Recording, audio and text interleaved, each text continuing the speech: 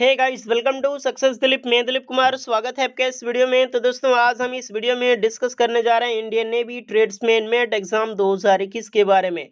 काफ़ी दिन से मैंने इंडियन नेवी ट्रेड्समैन के लिए कोई भी अपडेट नहीं दिया है तो कई दिन से स्टूडेंट का कमेंट आ रहा है। कई सारे इशू हैं उनके मन में, कई सारे डाउट्स हैं रिज़ल्ट को लेकर एग्ज़ाम्स को लेकर वैकेंसीज को लेकर। देन सबसे बड़ा जो बिग चैलेंज है इशू है हमारा मुंबई एग्ज़ाम्स डेट को लेकर एक बात है गाइज़ ये मुंबई एग्ज़ाम्स जो सेंटर था, उन पर ग्रहण लग चुका है। हालाँकि जब शेड्यूल जारी होती है पोस्टपोन हो जाती है, जारी होती है पोस्टपोन हो जाती है। नेक्स्ट अभी भी इनकी एग्ज़ाम डेट जो पोस्टपोन कर दी गई है। तो ऐसा मत समझिएगा कि हमारे लिए गुड न्यूज़ है कि तैयारी करने का एक बिग अच्छा मौका मिला है। हाँ बात सही है अच्छा मौका मिला है, लेकिन कहीं ना कहीं एक एक बैड न्यूज़ भी है।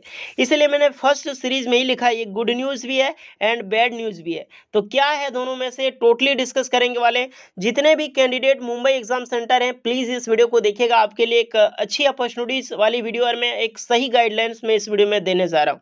नेक्स्ट मैं बात करूँगा इसकी रिज़ल्ट को लेकर। बैड न्यूज़ ये भी है कि इसकी रिज़ल्ट को लेकर रिज़ल्ट कब आ सकती है? क्या मुंबई एग्ज़ाम्स से पहले रिज़ल्ट घोषित हो सकता है? या फिर रिज़ल्ट डेट कब घोषित हो सकती है?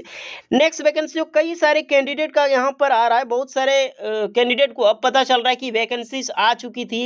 इंडियन नेवी ट्रेड्समैन मेट की। अब भी मेरे पास कमेंट आते हैं, सर, इसकी वैकेंसीज कब आई थी? फॉर्म कैसे भरना है? भाई इसका एग्ज़ाम भी हो चुका है, आप फॉर्म की बात करते हो। तो उसमें कहना है कि नेक्स्ट वैकेंसी इसकी कब आएगी? तो होपफुली आपका सलेक्शन नहीं हो पाया, आपने फॉर्म फिल नहीं किया है। फिर मार्क्स अच्छा नहीं है, आपको लग रहा है कि मेरा मार्क्स नहीं अच्छा हो, गया एग्ज़ाम नहीं आएगा।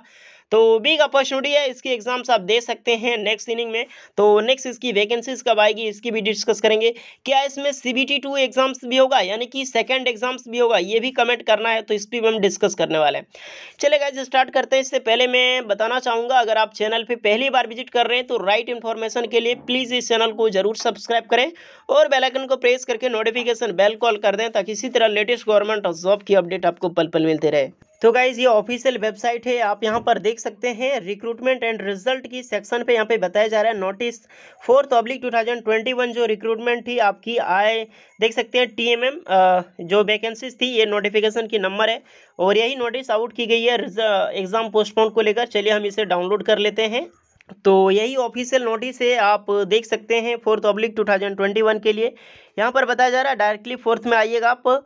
In view of surge in COVID nineteen pandemic cases and implementation of strict lockdown and COVID nineteen आपकी जो रिलेटेड है जितने भी सारे यहाँ पर रिस्ट्रिक्शन लगाएँगे महाराष्ट्र में सब्जेक्ट एग्जामिनेशन शेड्यूल ग्यारह अप्रैल को आपका एग्ज़ाम्स होने वाला था। एट मुंबई पुणे और नागपुर में वो स्टैंड आपकी जो पोस्टपोन कर दी गई है। तो होपफुली स्ट्रिक लॉकडाउन लग चुकी है यहाँ पर आपका मुंबई अदर अदर सिटी में। और यहाँ पर इसीलिए एग्ज़ाम्स को पोस्टपोन किया गया है बिकॉज़ कोविड नाइन्टीन केसेस को लेकर। कई सारे कमेंट मुझे आ रहे थे गाइस हम कैसे जाएँ एग्ज़ाम्स देने के लिए? लॉकडाउन लगी है, हम घर से नहीं निकल सकते। तो बेचारे कैसे जाते एग्ज़ाम्स देने के लिए? मेरे, मेरा कहना पॉसिबल नहीं हो रहा था। लेकिन अब अच्छी बात है आप सबके लिए, उन कैंडिडेट के लिए जो एग्ज़ाम देने नहीं जा सकते थे। तो गुड न्यूज़ उनके लिए है कि एग्ज़ाम पोस्टपोन कर दी गई है ताकि वो नेक्स्ट जब, इनकी आई शेड्यूल तो वो एग्ज़ाम्स देख सकते हैं। अगर अभी एग्ज़ाम्स हो जाते हैं तो वो बच्चे एग्ज़ाम्स नहीं दे जा पाते गाइस कई सारे उनके लिए मेहनत तैयारी की है। तो नेक्स्ट जो फ्रेश फिर से एग्जामिनेशन शेड्यूल आपके लिए जारी कर दी जाएगी, लेकिन कब जारी की इसकी कोई डेट नहीं है। एडमिट कार्ड की भी जो डेट थी पाँच अप्रैल, इसको भी कैंसिल कर दी गई। आपको पता होगा कि एडमिट कार्ड उस दिन नहीं डाउनलोड हो रहा था। अब मैं इसमें डिस्कस करता हूँ कि क्या अब अप्रैल में एग्ज़ाम्स होना पॉसिबल लगता है आपको? तो जी नहीं गाइस मुझे नहीं लगता कि अप्रैल में अब एग्ज़ाम्स होगी आपकी। अब आपकी मई में एग्ज़ाम्स कंडक्ट कराई जाएगी। तो फ्रेश आपको एक महीना अभी तैयारी करने का मौका मिल रहा है। तो अच्छी तरीके से आप तैयारी कीजिए और किस तरह से आपको तैयारी करनी चाहिए। देखिए गाइस अगर आप ये सोच रहे हैं कि किस बेसिस पे एग्ज़ाम्स इंडियन नेवी का हुआ था और उस बेसिस का हम तैयारी करें तो देखिए कहीं ना कहीं वो गलत तो नहीं है, लेकिन कहीं ना कहीं सही भी नहीं है आप। कोशिश कीजिए थोड़ा सा उससे ऊपर लेवल की तैयारी करने की। इंग्लिश में थोड़ा सा आप ज़ोर दीजिएगा, मैथ में थोड़ा सा ज़ोर दीजिएगा और आपका जो भी आपका करंट अफेयर्स था, करंट अफेयर्स में थोड़ी मोड़ी आप पकड़ ले सकते हैं।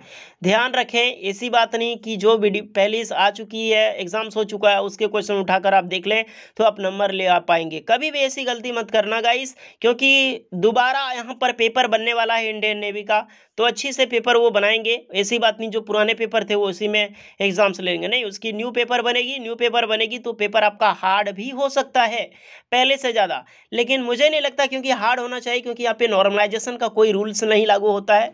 तो होपफुली क्वेश्चन वही होगी, लेकिन थोड़ा सा पैटर्न यहाँ पे चेंज कर दिया जाएगा। लेकिन क्वेश्चन का लेवल सेम होगा थोड़ा सा लैंग्वेज बेस्ड क्वेश्चन हो जाएगा। और कुछ नहीं बात है, आराम से तैयारी कीजिए। यहाँ पे डीमोटिवेशन नहीं होना है। मेरा मतलब है सिर्फ़ आपको गाइडलाइंस फॉलो करना है गाइड करना।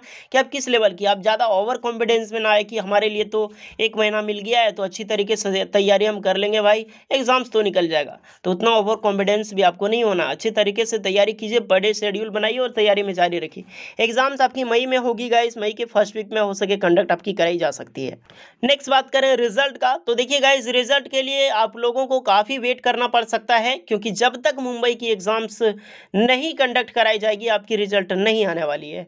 क्योंकि इसमें ऐसा कुछ नहीं है कि अलग अलग डिवीज़न वाइज होता चलिए रिज़ल्ट आउट कर दे। लेकिन ऐसा अभी नहीं होगा गाइस फाइनली आपका रिज़ल्ट आएगी आंसर की आएगी जब आपका मुंबई का एग्ज़ाम्स हो जाएगा। लेकिन जैसे मुंबई का एग्ज़ाम्स होता है, लगभग तीन से चार दिन बाद आपकी रिज़ल्ट आ जाएगी। मतलब आंसर की दे दी जाएगी। आंसर की देने के बाद वहाँ पे एक सप्ताह के अंदर आपकी रिज़ल्ट आ जाएगी देन आपकी डीवी और आपकी शेड्यूल जारी कर दी जाएगी मेडिकल की। नेक्स्ट बात करते हैं इसमें कि कहना है सर, इसमें सेकंड सीबीटी भी होगा, क्यों? क्योंकि एग्ज़ाम सीजी हुआ है। तो क्या जैसा कहीं ज़िक्र नहीं है ऑफिशियल नोटिफिकेशन में ना आज से पहले कभी हुआ है ट्रेड्समैन में कि आपकी सेकंड सीबीटी कराई जाएगी। सिंपल है, जो आपको कहीं बता रहा है या फिर कहीं सुन रहे हैं तो बिल्कुल ही गलत है। कोई सेकंड सीबीटी इसमें नहीं होने वाली है। बेखौफ रहिए और आराम से अपने तैयारी कीजिए आप। नेक्स्ट मैं बात करता हूँ इसकी नेक्स्ट वैकेंसी की। देखिए गाइस ये ट्रेड्समैन मेट की जो वैकेंसीज थी, ये आपकी वैकेंसी जो भी आती है, लगभग वो फरवरी से मार्च के बीच में वैकेंसीज निकलती है। और एक वैकेंसी आपका सेप्टेम्बर में भी निकलती है। लेकिन ये वैकेंसी जो मार्च में आई है सेप्टेम्बर वाली ही वैकेंसीज को दो साल से निकाल रही है मार्च में। अब पहले सेप्टेम्बर में निकलती थी, लेकिन अब वो नहीं निकल रही है। तो दोबारा जो वैकेंसीज आने की पॉसिबिलिटी है तो पॉसिबिलिटी आपको फरवरी में ही वैकेंसीज आएगी नेक्स्ट आपकी दो में। तो अब आपको एक साल सिंपली वेट करना होगा इसके लिए। और देन यहाँ यहाँ पर इंडियन नेवी से कई सारी और पोस्ट पे वैकेंसीज आएगी। एयरफोर्स से भी वैकेंसीज आ चुकी है और आने वाली है। तो देखिए, मौका ना गंवाएँ। कई कई सारी पोस्टों से वैकेंसीज अभी आने वाली है। लोको पायलट की वैकेंसीज आने वाली है। तो एग्ज़ाम्स की तैयारी में लगे रहे। मैं अगर फैक्ट बात करूँ ना गाइज़ तो इंडिया में जितनी भी वैकेंसीज निकलती है, अगर मैं बात करूँ सभी क्वालिफिकेशन वाइज तो सबसे ज़्यादा वैकेंसी आईटीआई की निकलती है। आपको लगता है नहीं निकलती है, लेकिन सबसे ज़्यादा वैकेंसीज आईटीआई के लिए निकलती है। चाहे वो अप्रेंटिसशिप की हो, चाहे वो जॉब की हो, चाहे वो कॉन्ट्रैक्ट बेसिस पे हो। हर दिन आईटीआई की जॉब निकलती ही रहती है। लेकिन कहीं भी दो निकल निकलती है, कहीं पे 200 निकलती है, कहीं 2000 निकलती है। फ़र्क इतना पड़ता है। लेकिन हर दिन आईटीआई की ज़रूर वैकेंसीज आती है। तो तैयारी कीजिए, आपको जहाँ पे एक्सपीरियंस करने का मौका मिल रहा है एक्सपीरियंस लीजिए आप। बैठे मत रहिए प्लीज़ नहीं तो एक दिन ऐसा होगा, आपको जॉब लेने में काफ़ी परेशानी हो सकती है। स्किल्ड पर्सन बनिए, मज़बूत बनिए, नहीं कि लाचार हैं, हम गरीब हैं या फिर हमको इतना नहीं है, हमको जॉब मिलना चाहिए। काफ़ी सारे कमेंट का एक्चुअली मेल आते हैं मेरे पास कि, सर, मुझे जॉब चाहिए, मुझे अप्रेंटिसशिप करना है, क्या करना होगा, कैसे बताइए? तो उसके लिए मेहनत करनी पड़ती है गाइज़ उसका दूसरा कोई भी ऑप्शन नहीं होता है कि मैं किसी को रेफ़र कर दूँ तो आपको जॉब मिल जाएगी, या फिर मैं अपनी कंपनी में जॉब देता हूँ देखिए, ज़िंदगी में लाचार नहीं बनना है आपको, मज़बूत बनना है। लाचारों के लिए हेल्प मिल सकती है जॉब कभी नहीं मिल सकती है। जॉब पाने के लिए आपको जो आपका क्वालिटी उसमें होनी चाहिए। होपफुली गाइस काफ़ी बोर भी लगा होगा आपको, क्योंकि मैंने एंडिंग में थोड़ी सी ज़्यादा गाइडलाइंस आपको दे दी। फिर भी इससे रिलेटेड कुछ और डाउट हो, आप कमेंट कर सकते हैं, पूरी हेल्प कर सकते हैं। होपफुली जिनका एग्ज़ाम्स हो चुका है बेस्ट ऑफ़ लक जिनका नहीं हुआ है, उनके लिए तैयारी के लिए बेस्ट ऑफ़ लक अच्छे से तैयारी कीजिए। और अलग अलग वैकेंसीज आने वाली है तो उसमें भी ज़ोरों शोर से तैयारी में लग जाइए। होपफुली वीडियो अच्छी लगी वो लाइक करें, ज़्यादा से ज़्यादा दोस्तों तक शेयर करें चैनल पर नहीं तो सब्सक्राइब ज़रूर करें। चले मिलते हैं नेक्स्ट वीडियो में, तब तक के लिए जय हिंद।